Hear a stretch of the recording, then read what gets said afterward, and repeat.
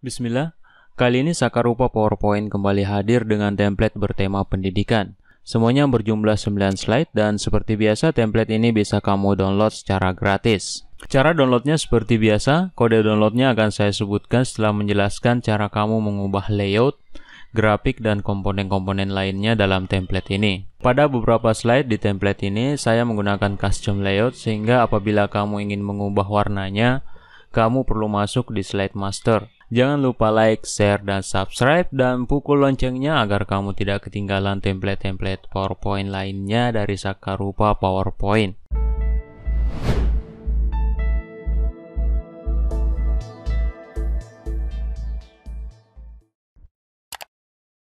Oke guys, saya akan mulai dari slide pertama.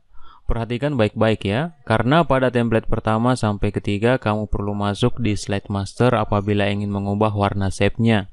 Di slide pertama ini seperti biasa terdapat custom placeholder gambar. Untuk menggantinya klik pada gambarnya, ke menu format, change picture from a file, lalu pilih gambarnya. Kemudian untuk mengubah warna shape ini, ke menu view, klik slide master sehingga terbuka master view. Klik kanan pada shape-nya dan pilih format shape. Kemudian berikan warna. Caranya seperti biasa. Kemudian kamu close master view-nya dan warnanya telah berubah. Oke, saya kembalikan lagi.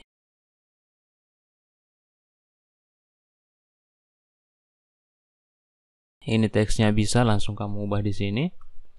Kemudian di slide kedua ini sama ya, seperti slide pertama ada custom placeholder gambar juga. Cara gantinya juga sama. Di slide ketiga ini juga sama, icon listnya ini hanyalah sebuah shape lingkaran. Di slide ini terdapat tiga gambar berbentuk lingkaran yang merupakan placeholder gambar juga.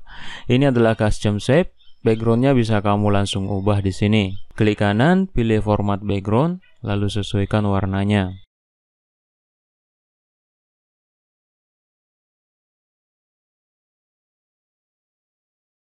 Di slide ini sebuah infografik untuk mengubah nilainya, klik pada arc-nya, lalu tarik note orange-nya, lalu ganti teksnya sesuai kebutuhan.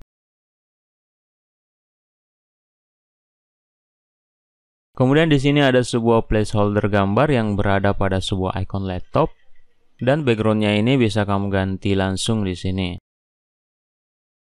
Di slide ketujuh ini juga sebuah infografik, klik kanan pada grafiknya lalu klik edit data untuk mengubah nilainya.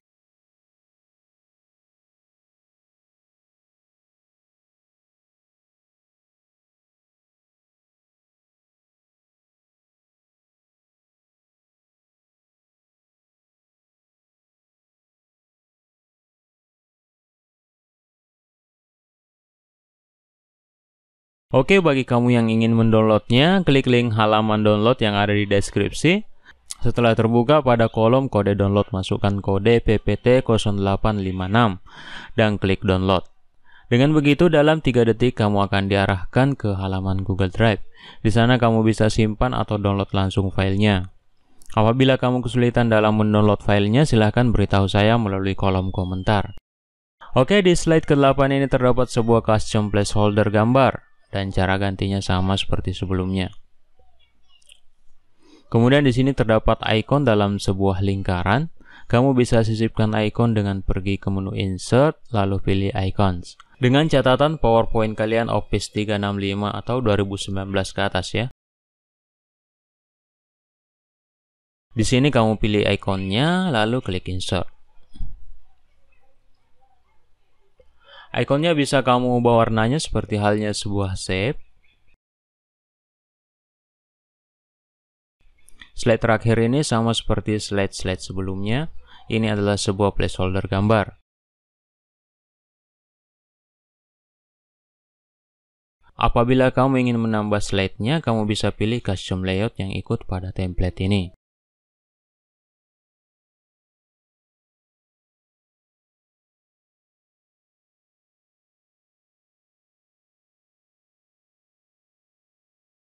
Oke, kemudian transisi yang saya gunakan seperti biasa, transisi jenis Morph. Setahu saya transisi ini hanya pada versi 2016 ke atas ya dan Office 365. Baik, jangan lupa like, share, dan subscribe dan nantikan template selanjutnya. Salam kita pada salama.